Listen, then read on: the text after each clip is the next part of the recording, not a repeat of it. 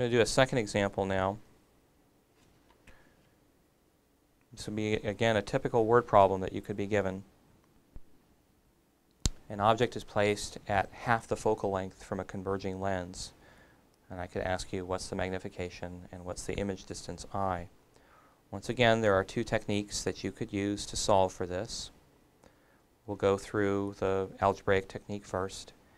We go back to our expression 1 over p plus 1 over i is 1 over f. And you could immediately start uh, being concerned because you'd say, well, I haven't been told any of these numbers yet.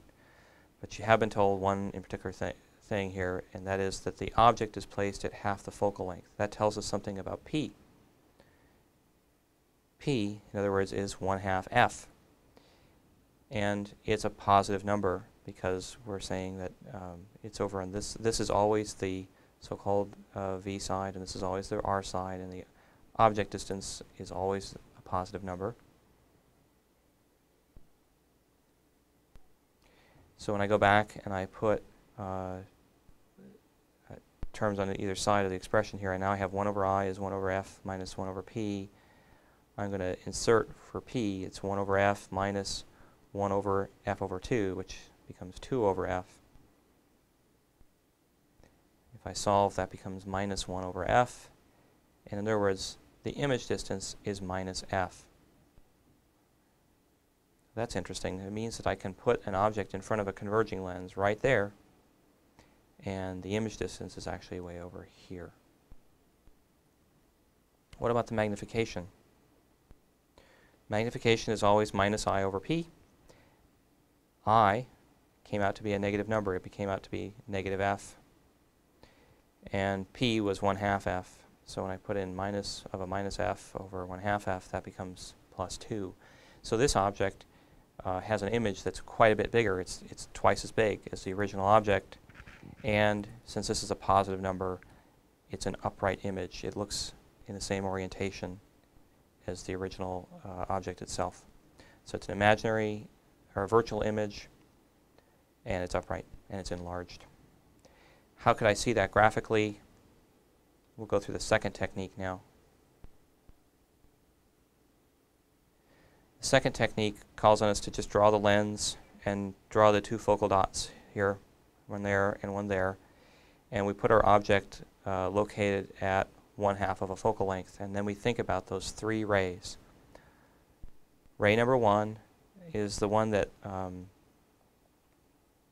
is going to go in parallel to the center axis of the of the whole system. So when it goes in parallel, remember it gets directed to the focal length. So it keeps on going down. Number two is the one that goes through the center axis and it's undeflected, so that should be a straight line right there. And my apologies for my artistry, but it's that should be a straight line. And number three is the one that should come out at a a parallel to the, the center axis, so I'm drawing a parallel ray right there. And how did I know to draw it there?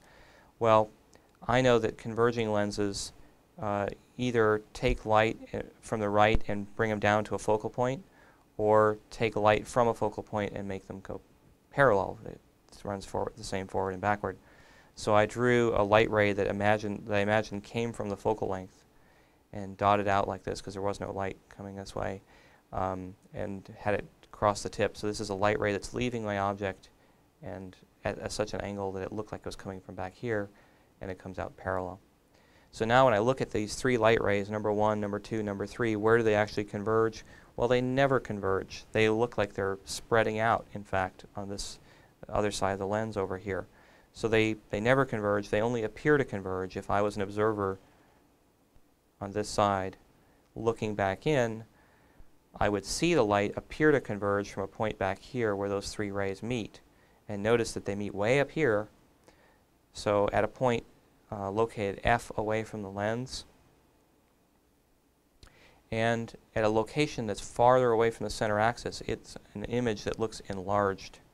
So it's a virtual image, it's upright, and it's enlarged compared to the original object.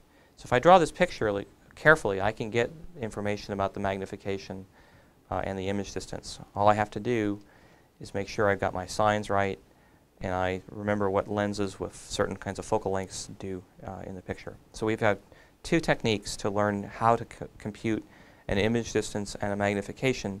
One uses simple algebraic manipulation, and the other uses uh, some intuition and ray tracing of particular light rays uh, through the system. And we will get practice doing both of those techniques.